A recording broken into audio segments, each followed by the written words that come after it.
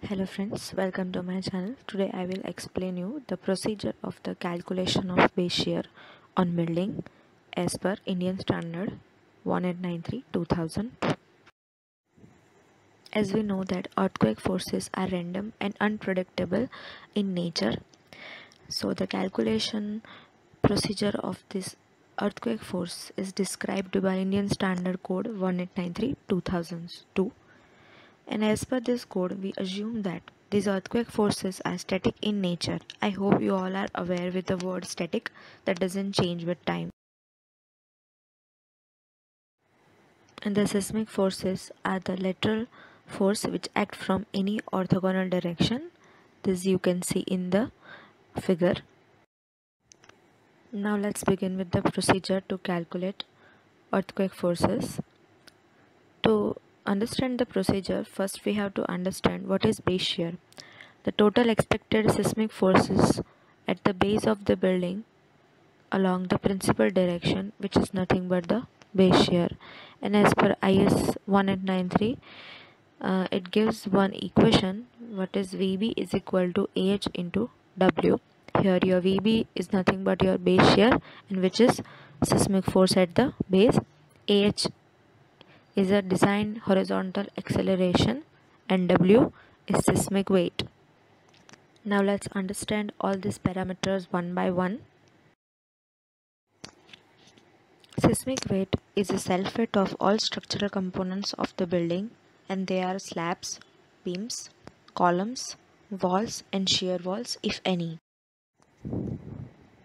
In seismic weight, we also have to include imposed load acting on the building as per uh, one as per IS 1893 2002 which is given in table number 8 how much percentage of the imposed load we have to calculate?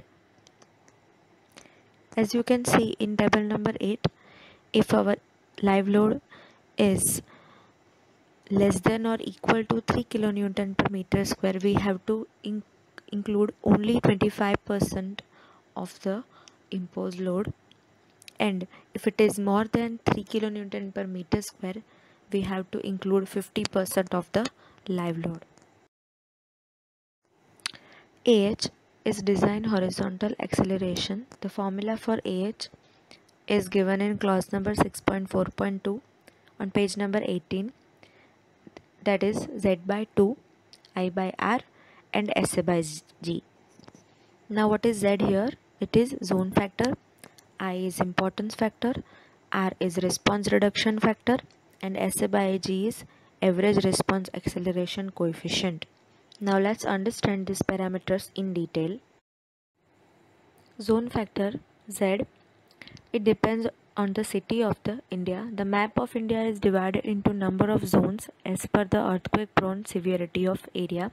You can find it in clause number 6.4.2 table number also you can find the zone of cities in annexure E.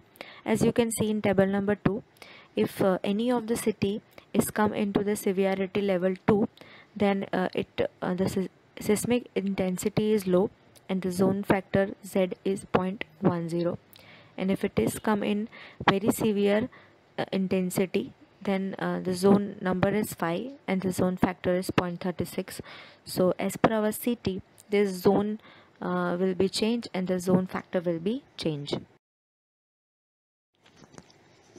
Importance factor I which depend on the functional use of the structure which is characterized by the hazardous consequences of its failure, post-earthquake functional needs, historical values or economic importance which given in table number 6. As you can as you can see in table number 6 which is given in clause number 6.4.2 uh, uh, as i factor is depend upon the importance of the building. As as if your building is hospital school or a monument structure or any government building or fire station you have to take your importance factor 1.5 or other buildings let's say one residential building they are all they all comes under the importance factor 1 response reduction factor R which is the factor where earthquake force occurs on the building and at that time if your building or structure will remain in the elastic during its response to the design basic earthquake that we have to reduce its design lateral force. It can be a, it can be a dividing factor okay so this dividing factor can be depending upon the lateral load resisting systems of the building. So for factor r it is given in table number 7 you can see here table number 7 where you use ordinary moment resisting frame your R factor will be only 3 and where is your special moment resisting frames like uh, the frame with shear wall or the frame with uh, bracing systems or any other special moment resisting frame and you have to take your R value 5 same with the steel frames. If it is concentric brace uh, or maybe eccentric brace the uh, R value will be changed. And in, in IS code there are more number of uh, bracing systems and more number of building frame systems including the variation of the R factor. Now let's understand the next parameter is SA by G and uh, this SA by G is average response acceleration coefficient. It depends on the two parameters which are uh, time period and the soil type of the structure. This time period is approximate fundamental natural time period uh, of the building and we calculated it in uh, seconds. Normally uh, in IS 1893 2002 we uh, have given here three uh, formulas for time uh, determine time period.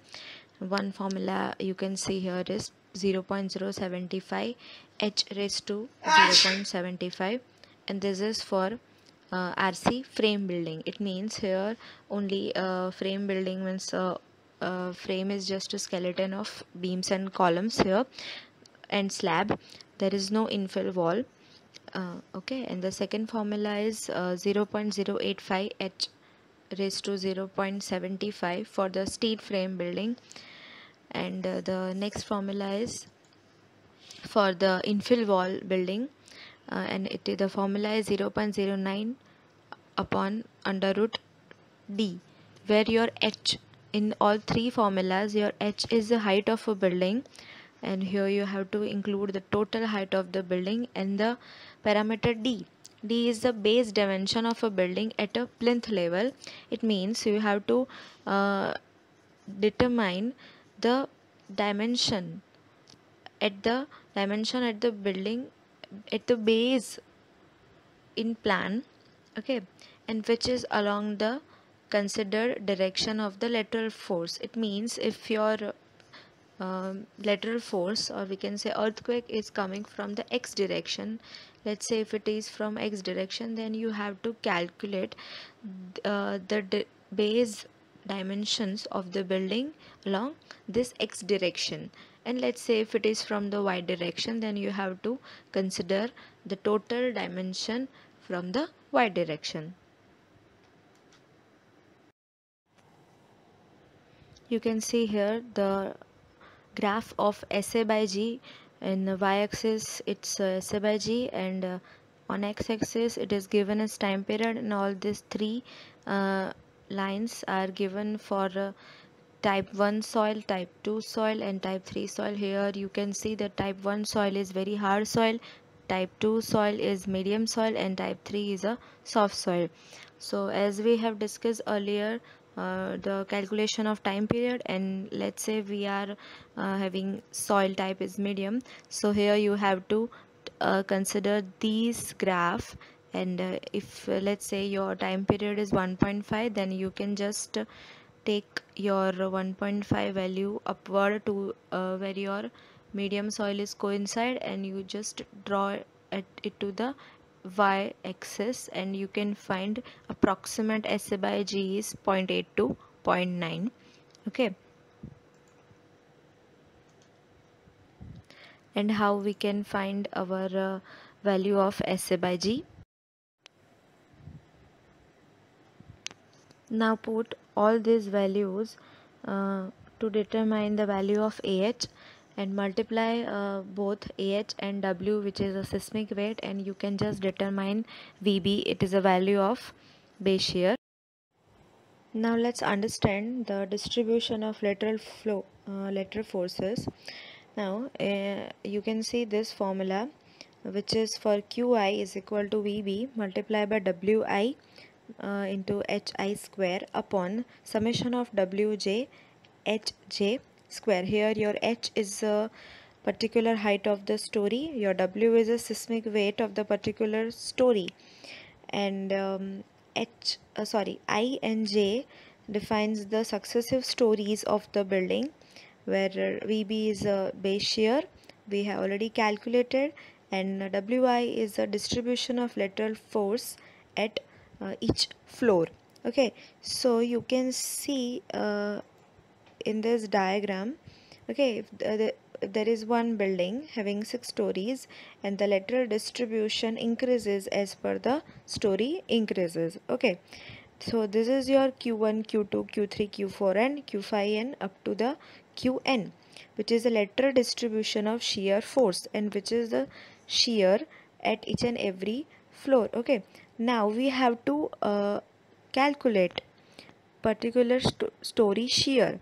And what is story shear? Story shear is the accumulation of the successive lateral uh, successive stories of the lateral force. So you just have to summation for uh, above and bottom story and that is not it is nothing but your story shear. You can see qh q5 q4 q3 q2 and q1 and the last is the base shear you have already calculated which is vb and you can find here the maximum force uh, acts at the base of the structure.